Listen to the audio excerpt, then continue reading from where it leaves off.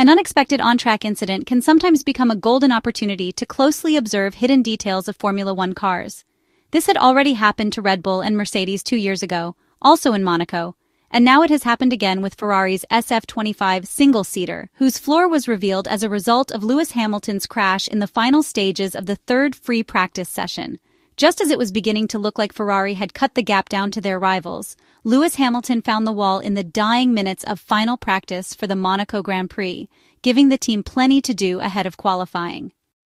Setting off on another flying lap to round out the session, the seven-time world champion crashed into the outside wall at turn 3, also known as Massenet, with the majority of the right-hand side of his Ferrari making contact.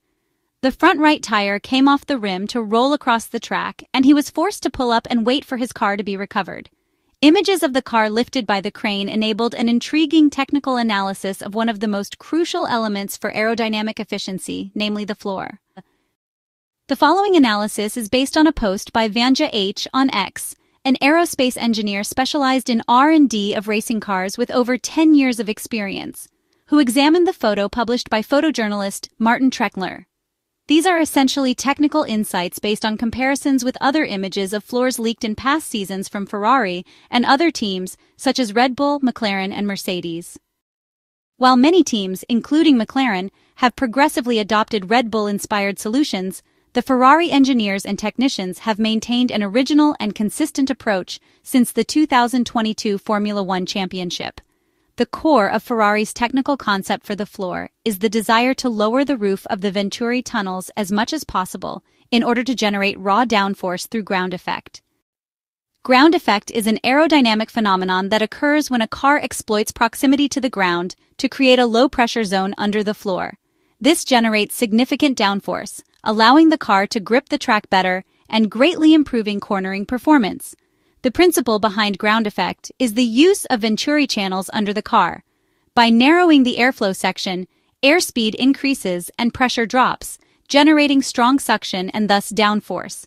Keeping the car as close to the ground as possible maximizes this effect, increasing available downforce and reducing drag, making the car faster both in corners and on straights. The philosophy adopted by Ferrari since the 2022 Formula One season caused evident bouncing issues on the F1-75, but the car was soft enough to make the problem manageable for the drivers. Over time, thanks to targeted updates to the suspension and floor, Ferrari nearly eliminated the phenomenon in 2023, though it never managed to find the ideal compromise between ride height, stiffness, and downforce.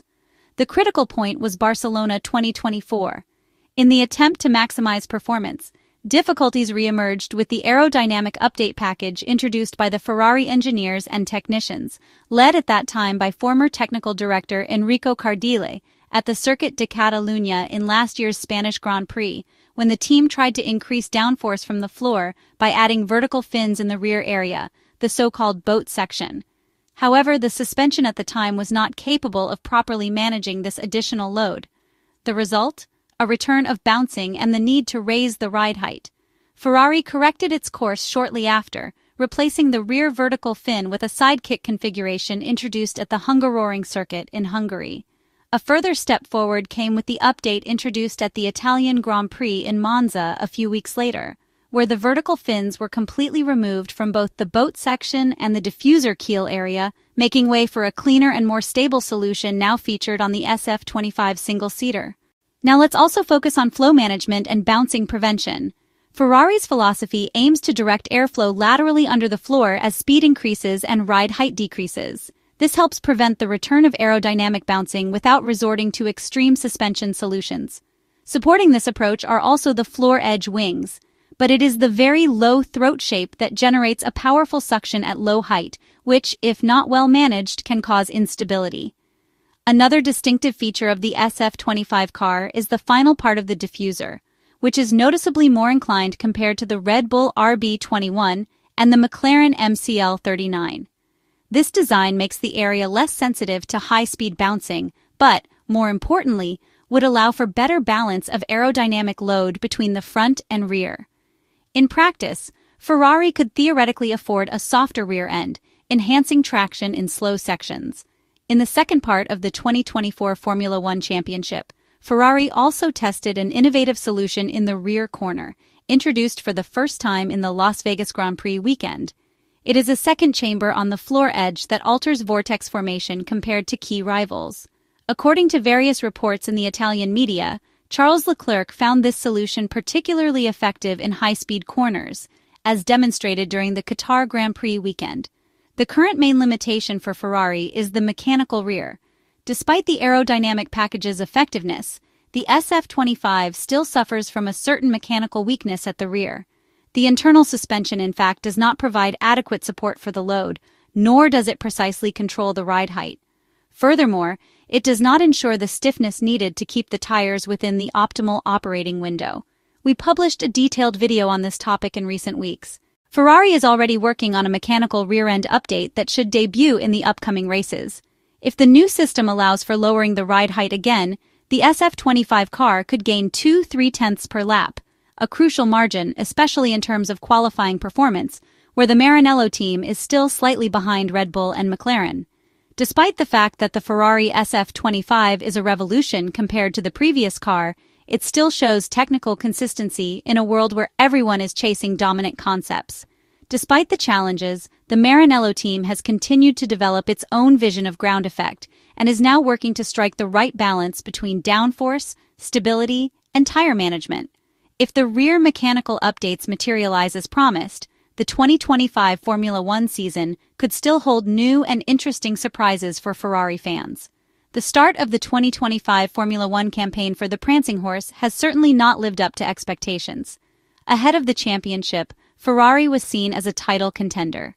The arrival of Lewis Hamilton, along with the optimism and hopes sparked by a promising 2024, had led fans to believe that 2025 could be the year of a title comeback.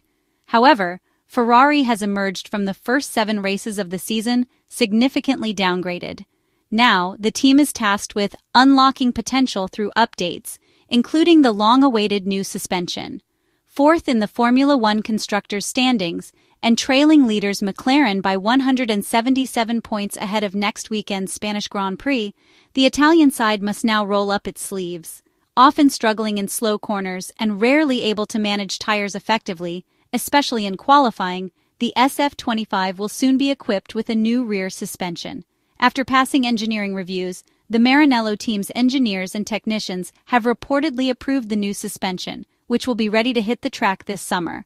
June will most likely mark a crucial turning point in the season, one that could determine the fate of the prancing horse for at least the second half of the 2025 Formula One Championship.